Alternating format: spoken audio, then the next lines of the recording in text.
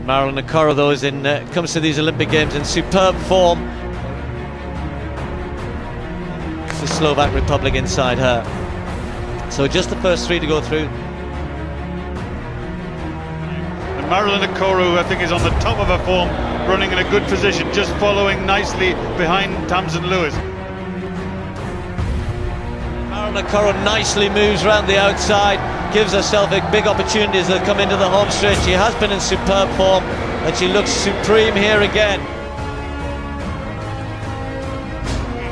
Marilyn Okoro, who's really assured, really excelled herself today, looking really powerful. But what a good run by Marilyn Okoro.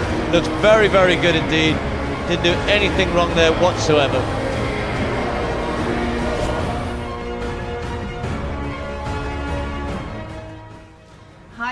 Guys, how are you? My name's Marilyn Okoro. I am an 800 meter runner and 400 meter runner. I have been to two Olympic Games, um, four World Championships, and I'm currently still working towards my goal of making the 2020 Olympics. So when I was younger, I grew up in northwest London, Stonebridge, which is uh, not the uh, glam- most glamorous of areas. Um, my mom did the best she could, single parent home. We're of Nigerian background, so really strict upbringing.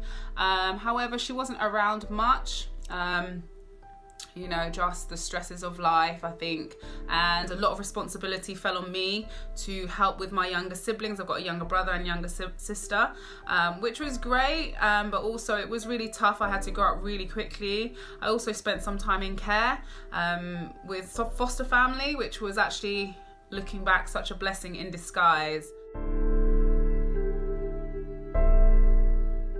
My earliest memories in relation to track and field, um, probably school. School's where it all began. I love to go back into schools now, talk to the kids, inspire them, put them through their paces. Um, and for me, I was always really, you know, active, always running around. So naturally, sports was where I was going to find a lot of joy, a lot of confidence. Um, and at school, I just enjoyed beating the boys around the playground. I loved being the fastest not just girl, but the fastest person at school. Um, but at my first uh, secondary school, that's where I met someone who's so influential to my career, which is my very first coach, George Harrison. And, you know, he was probably the first real father figure I had in my life because he did what you know some, most people's parents do. He would take me to the track, come and pick me up, and take me to the track and bring me back, going out of his way, but he did it because he saw something in me, he nurtured me, he mentored me, and really helped build my confidence. And he was the first person that said, if I worked really hard, I could make it to the Olympics. So I really believe God placed him in my life for that purpose.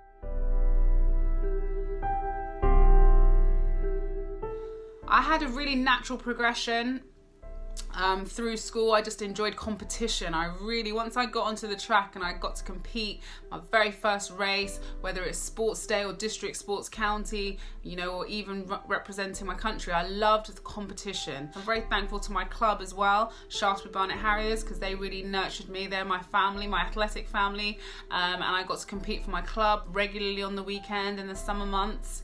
Um, and then when I got to university, that was kind of the time where I had to decide whether I was going to follow the professional athlete route or go into another career. And I just found that actually I could make it. I made the university games and came away with a bronze medal. I just never wanted to give up on that hope um, that George had planted in me of running in an Olympics one day. I wanted to see how far I could go, so I was really willing to do whatever it takes. So I'm a big firm believer because it's a testimony of my life that you know the road to success is never straightforward. You might have your plan, um, and there's the way it's going to go, and there's also God's plan. And I'm really living by you know the belief that you know God's will will always be done. And I just feel like all those obstacles that have been in my path. Um, they've been there for a reason and I've learned something and it's not always easy and it's kind of painful but so is growth um, so I just encourage you that no matter what trials you face, to keep pushing through because on the other side of those trials, and on the other side of your fear, um, is what you want most and what you're striving for.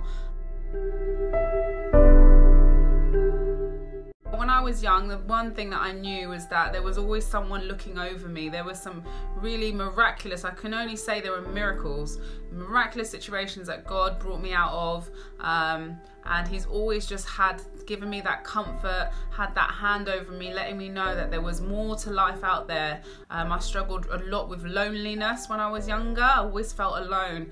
Um, and I think through my relationship, with God, I've learned that actually I'm never alone.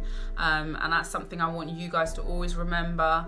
You know, you, we've got this platform for you, um, but first and foremost, always know that the Heavenly Father, He is always with you. Just know that God loves you. He loves you so much. There's nothing you have done or that you can do which will change how much He loves you. Um, another message I just would love to leave with you is just learn to communicate. It's so important to talk to people um, and share what you're going through. Never go through things alone. And also, lastly, just never give up. Never give up on your dream. There is something planted in your heart about your future and your destiny, and it's there for a reason. You know, it's human nature. We are going to feel fear, we're going to be scared, but feel it and go ahead and do it anyway because that has literally been my story all the way to becoming an Olympian twice. So, guys, it's been so great sharing with you. I'm looking forward to um, the coming months and years as we grow united as one family. Have a blessed day, everyone. Thank you for listening to my story. God bless.